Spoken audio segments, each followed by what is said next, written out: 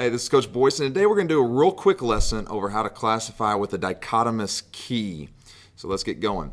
Uh, what you see here on the left is a picture of a guy working in the field, a scientist. Now, when scientists are classifying organisms, specifically in the field, they use a tool, and that tool is a dichotomous key.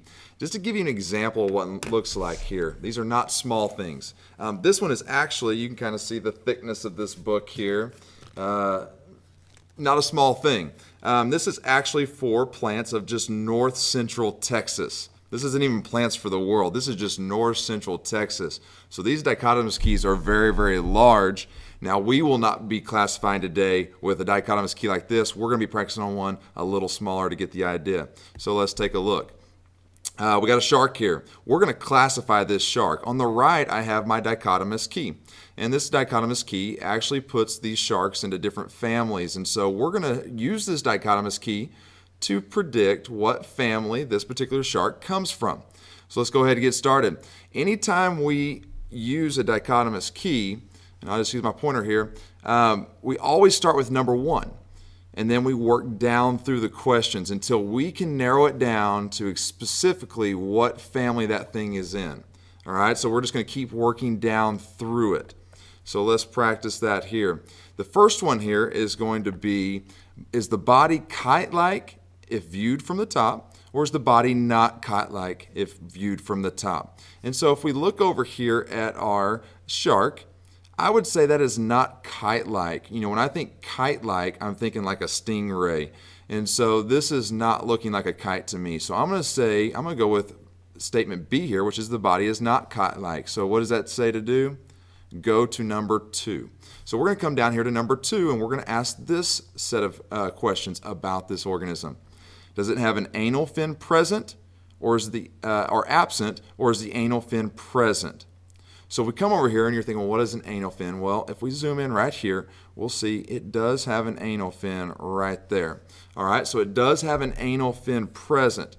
So if we come back over here, what we'll see is anal fin present. It says go to number three. So if we come down here to number three, then we're looking for is there six gill slits present?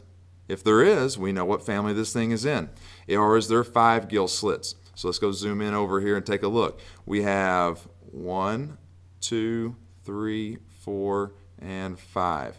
So there are five gill slits there which would meet the criteria of go to number four. Y'all getting the idea here? Now we're to work down to number four. Dorsal fin with spines, no spines on dorsal fin. We come back and we look over here. Here is my dorsal fin. All right, I don't see any spines on that dorsal fin. So if we come back over here to the right, we'll notice that no spines on dorsal fin. Go to number five. Let's go to number five. Mouth is at the front of snout, or mouth is on the underside of the head.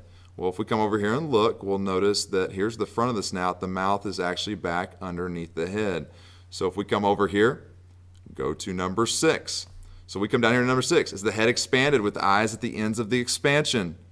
Like a hammerhead shark. Well, if we look over here, no, it is not. So the head is not expanded. So we go to number seven.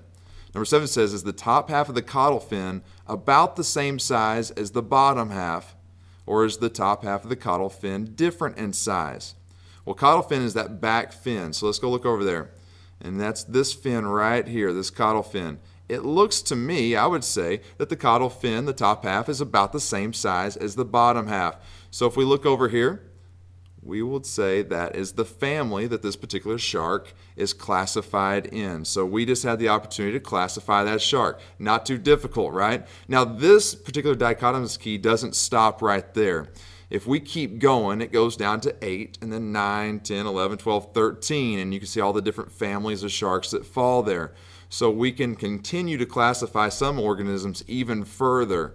Uh, if I go back to here, obviously you can see here the key thing to these is that you always start right here with number one. So if I was to give you another shark and say classify it, guess where you would start? Right there at number one, and you would ask this question to yourself about that organism. Is it body kite-like in shape, or is it not kite-like in shape? And then you would work down through that dichotomous key from there. So hopefully that was beneficial. I'm Coach Boydstun. Uh, let's do some dichotomous keys.